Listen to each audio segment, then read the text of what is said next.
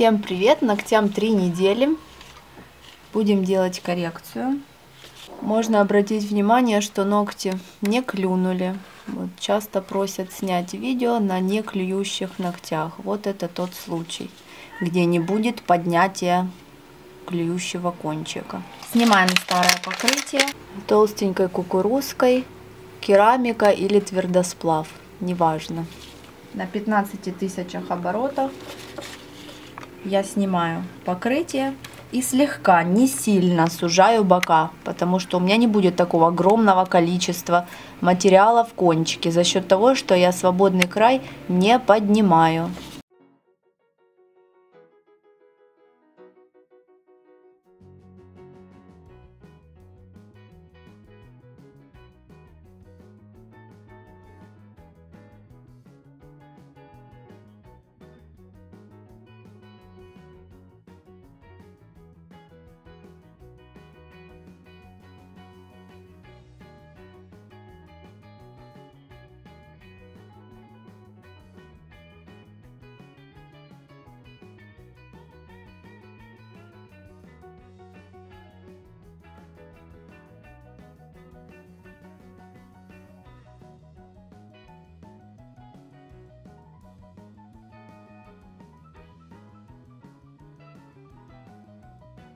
Следующий этап алмазной фрезой для маникюра. Мы приподнимаем кутикулу осторожненько щечкой сначала в одну сторону, потом переключаем реверс и в другую сторону. И заодно шлифуем вот эти несколько миллиметров отросшей зоны.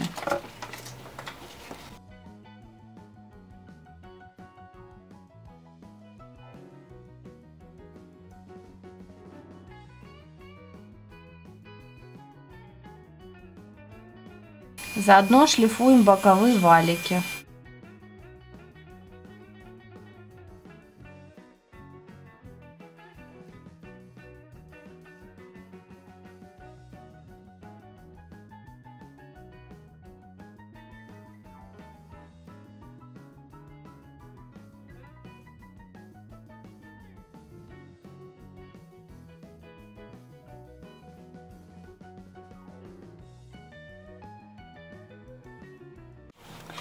Кутикула приподнялась, птериги зачистился под ней, ноготь натуральный матовый. И следующее действие это праймер.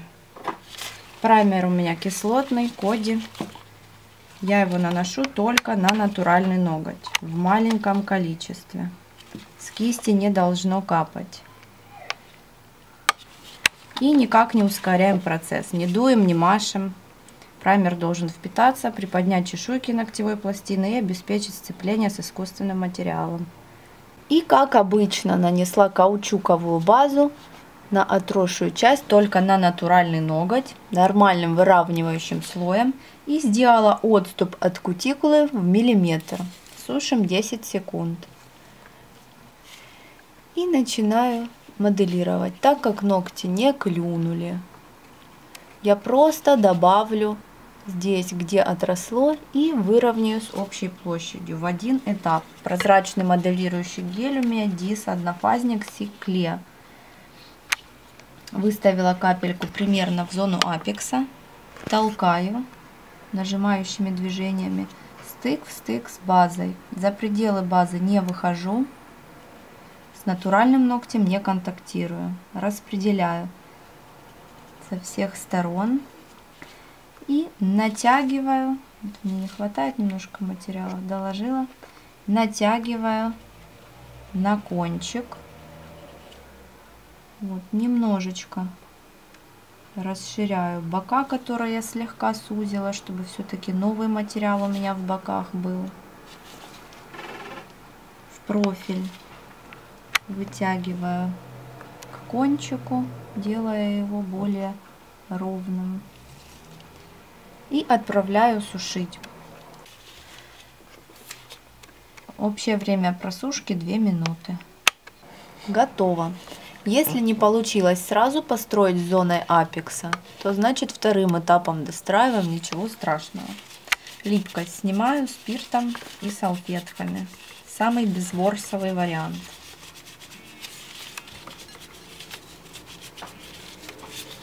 И приступаю к окончательному опилу. Фрезой здесь выравнивать нечего, поэтому сразу пилочкой отодвигаю, завожу пилочку за бачок и придаю вид сверху, параллель. Зашлифовываю. Один бачок закручиваю его в трубочку, сворачиваю ноготь в трубочку за счет того, что опускаю бока.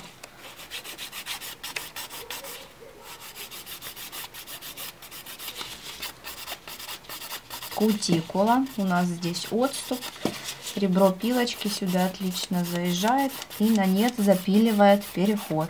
При отрастании он будет незаметен, не ощущаем. И верхняя часть. Пилочка ровно лежит. Не под наклоном, а ровно. И шлифуем как трубочку, сглаживая с боками.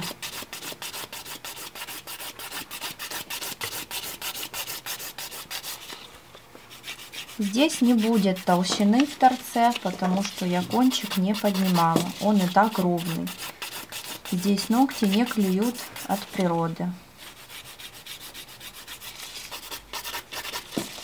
Профиль проверим. После апекса должно быть ровно.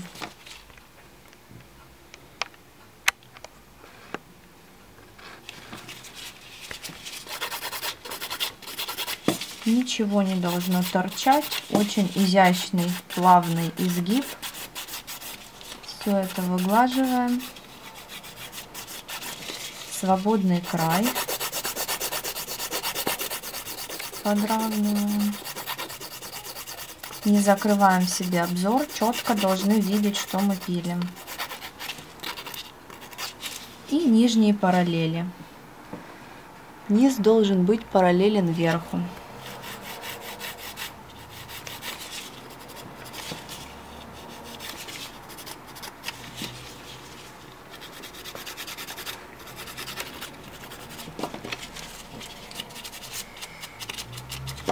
Кончик получается тоненький. Но все равно с обратной стороны нужно убрать натуральный ноготь и где-то миллиметр старой толщины. За счет того, что я немножечко укоротила на миллиметр, все равно выехала толщина.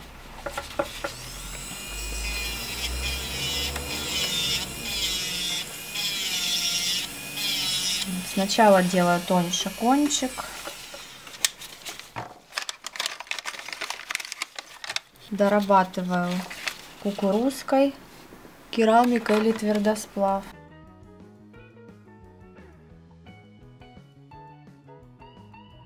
Убираем натуральный ноготь обязательно, он нам только вредит. Он крутит ногти и вниз, и в стороны, продолжает бороться с искусственным материалом. Всегда есть риск того, что он отслоится от геля. Не нужен он нам.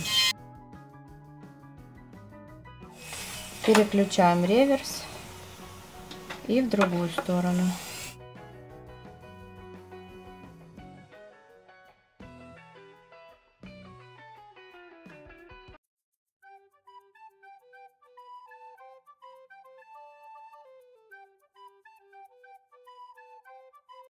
Даже с эстетической точки зрения желтый ноготь с налетом это совершенно некрасиво.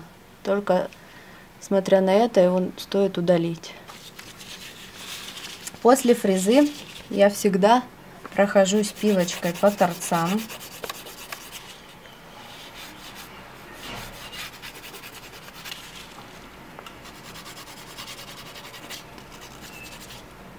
И остается разобраться с кутикулой. Еще раз приподнимаю кутикулу, срезаю ее и шлифую.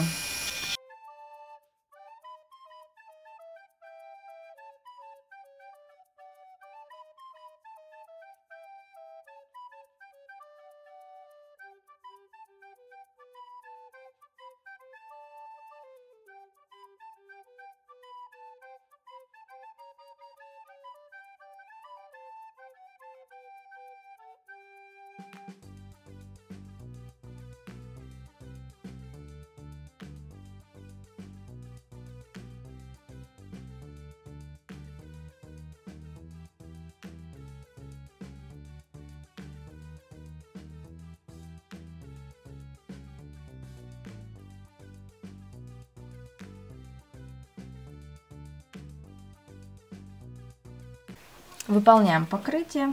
Я сначала наношу гель-лак на всю поверхность, кроме как кутикула и боковые валики, боковые пазухи.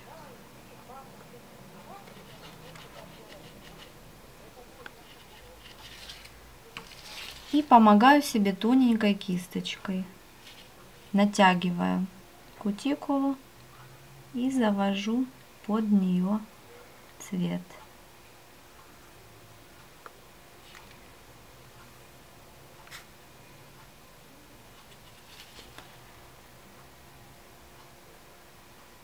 Работаю по одному пальцу с двумя лампами, туда-сюда чередую.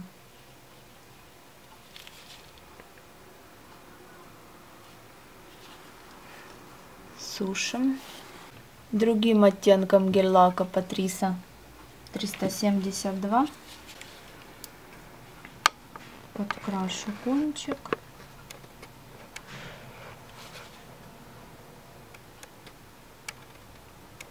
Таким изгибом.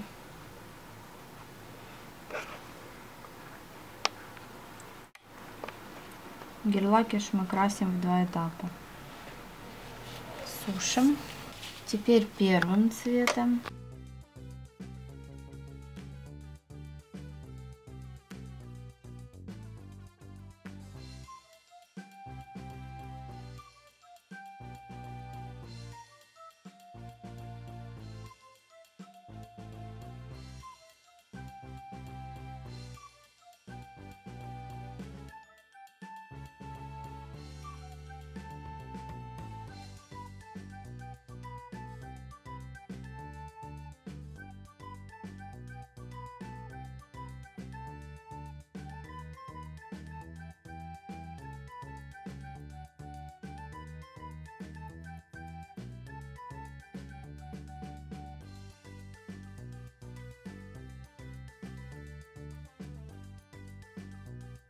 И делаем лепку. Мономер у меня реформа, пудры гармония.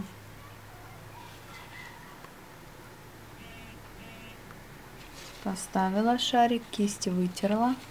Ждем, когда он станет матовый.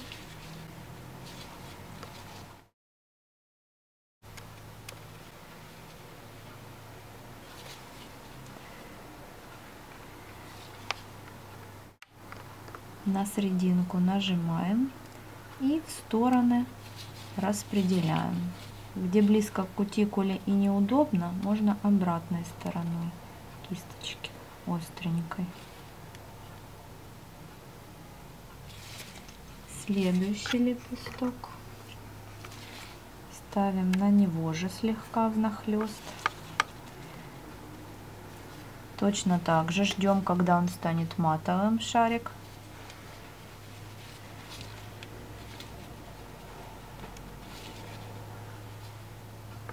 Серединку. Отжимаем.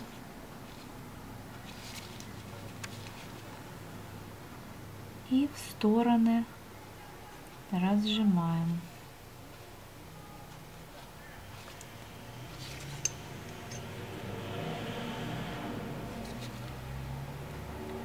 Следующий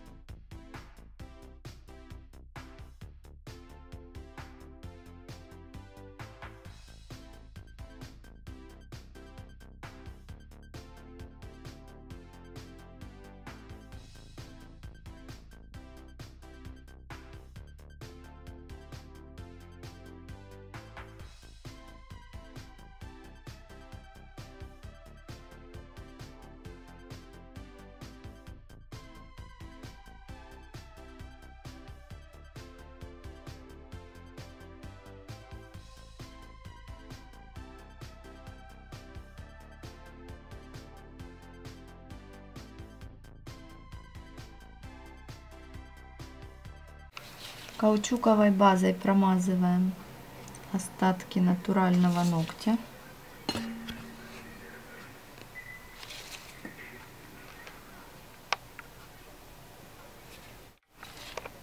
Серединку капелька и по линиям.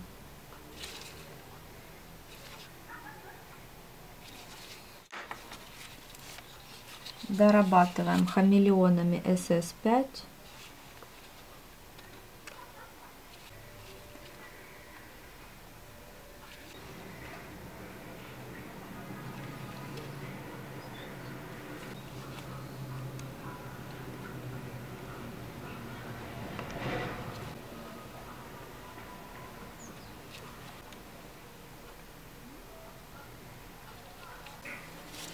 Смешиваем чуть-чуть базы с мелкими бульонками, не металл.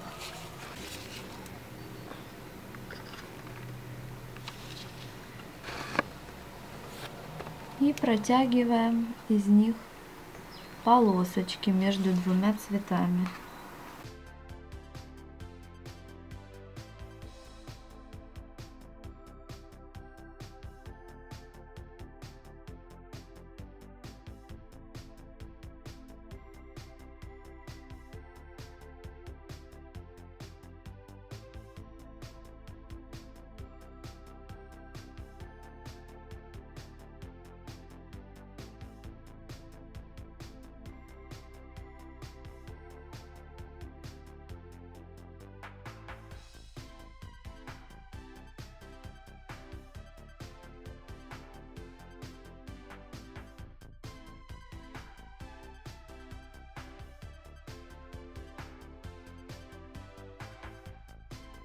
И перекрываем топом без липкости.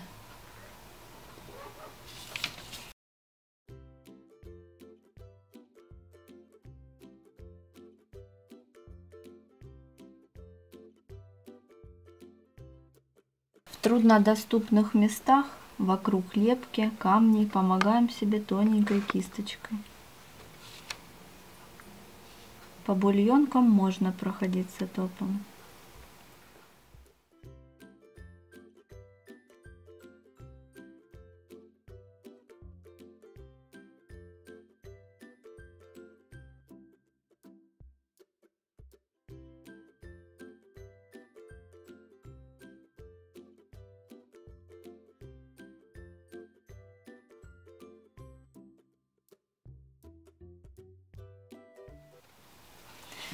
Обратной стороны обязательно.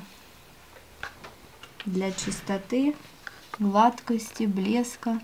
Ну и мы герметически запаиваем переход от натурального ногтя к искусственному. Тогда меньше вероятность, что туда зайдет вода, влага, и ноготь натуральный оторвется от искусственного.